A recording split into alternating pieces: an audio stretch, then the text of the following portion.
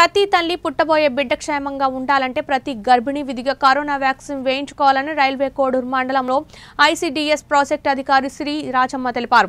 కడప జిల్లా కోడూరు మండలంలోని అనంతరాజుపేట రాఘవరాజపురం చీయవరం రెడ్డివారిపల్లె ఓబనపల్లె పంచాయతీలో అధికారులు మానవహారంగా ఏర్పడి ఇంటింటికి వెళ్ళి కరోనా వ్యాక్సిన్పై అవగాహన కల్పించారు. ప్రతి గర్భిణి మొదటి నెల నుండి తొమ్మిదో నెల వరకు ఎప్పుడైనా కరోనా వ్యాక్సిన్ వేయించుకోవచ్చని ఆశా వర్కర్లు అంగన్వాడీ టీచర్ల దగ్గర నుండి వ్యాక్సిన్ వేయించాలని పిలుపునిచ్చారు. అనంతరం గ్రేడ్ వన్ సూపర్వైజర్ రాజేశ్వరి మాట్లాడుతూ కోడూరులో గర్భవతులకు వంద శాతం వ్యాక్సినేషన్ పూర్తయ్యేలా చూడాలని అన్నారు.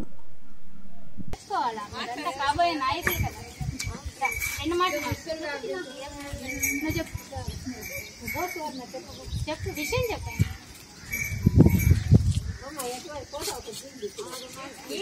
నేను ఈ ఊరు మహిళా పోలీస్ మీకు ఆల్రెడీ తెలుసుంటుంది అందరికి.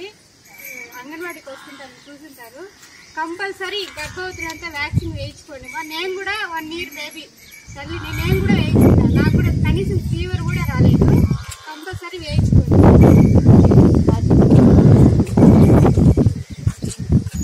ఇంకా మాట్లాడుతావమ్మా ఏం పేరు నీ పేరు? శిరీష.